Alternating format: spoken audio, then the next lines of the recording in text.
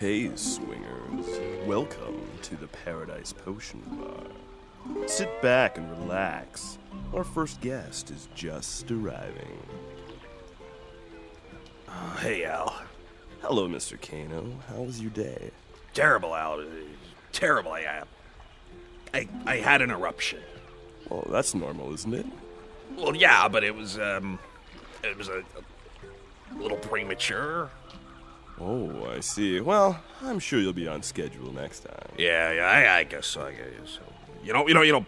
Back in the old days, if I had an unexpected eruption like that, do you know what they'd do? They'd throw me virgins, Al.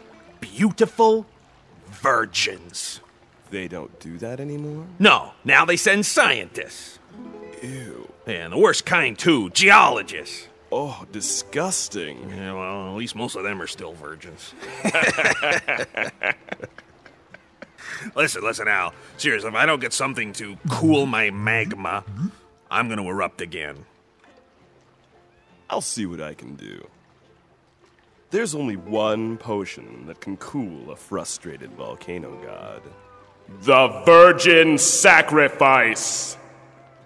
In a blender, combine one and one half ounces coconut rum, one and one half ounces coffee liqueur, one cup ice, and two scoops chocolate ice cream.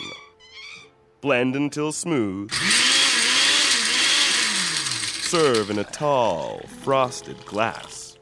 And of course, garnish with a cherry.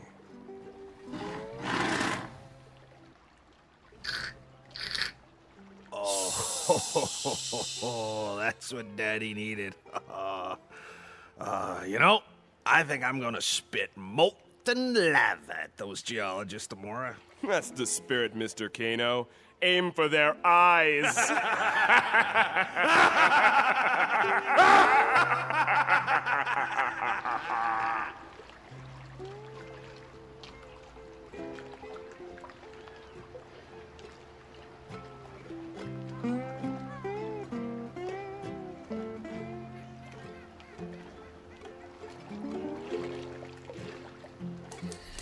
Drink responsibly.